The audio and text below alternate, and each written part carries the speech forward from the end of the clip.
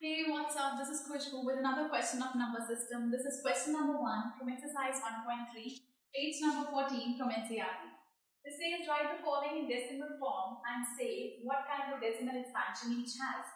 हमें पहले इनको डेसिमल फॉर्म में कन्वर्ट करना है और फिर बताना है कि डेसिमल एक्सपेंशन कैसी है so part number four three by thirteen अब इसको डिवाइड करके देखेंगे दिस इज थर्टीन यहाँ थ्री So thirteen के टेबल में थ्री नहीं आता तो ना चलने की ज़ीरो हमने पुट किया डेसिमल ये बन गया थर्टी तो थर्टीन टू जा इज़ ट्वेंटी सिक्स बच गया हमारे पास फोर ना forty thirteen three is thirty nine बचा वन बन गया टेन सो थर्टीन वन जा इज़ सॉरी टेन थर्टीन के टेबल में नहीं आएगा, ना चलने की ज़ीरो नेक्स्ट टाइम इसके पास फिर एक ज़ीरो लगाएगा हमें। Thirteen seven is ninety one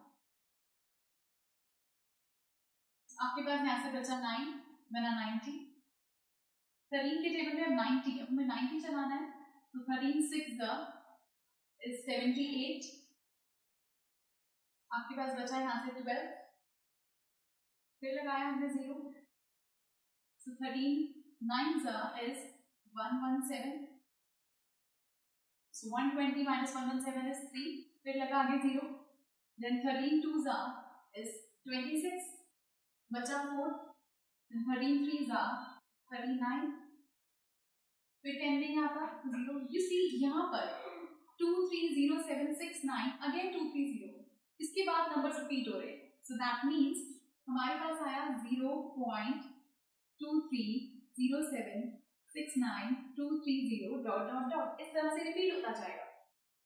तो ये आंसर हमारे पास आया zero point two three zero seven six nine ऊपर बात बिकॉज़ ये नंबर्स रिपीट होंगे। जो नंबर्स रिपीट होते हैं, उनके ऊपर ये बात कोड है।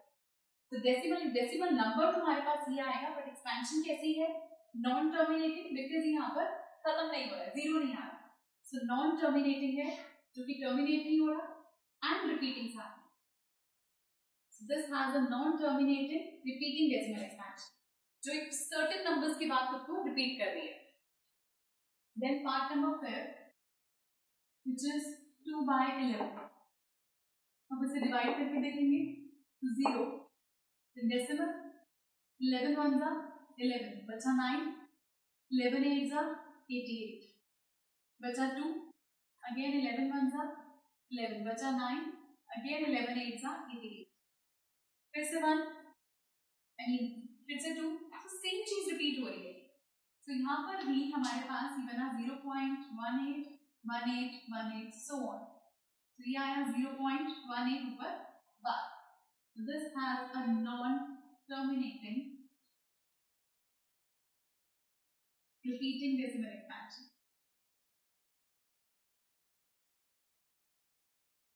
Part number six,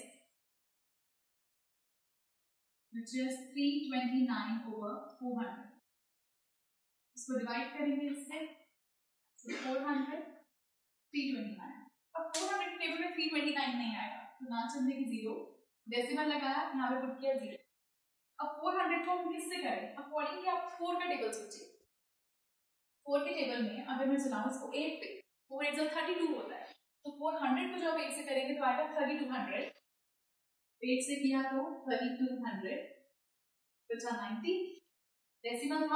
तो कर दिया टू जा बचा हंड्रेड फिर हमने डेसिमल से ज़ीरो लगा दिया। फाइव जा। सॉरी अगेन टू जा। एट हंड्रेड बचा टू हंड्रेड हमने ज़ीरो लगा दिया। फाइव जा इज़ टू थाउज़ेंड बिल्कुल फोर के टेबल की तरह, बस आगे दो जीरोस लगते जाएँगे। सो ये बन गया ज़ीरो पॉइंट और ये टर्मिनेट हो गया।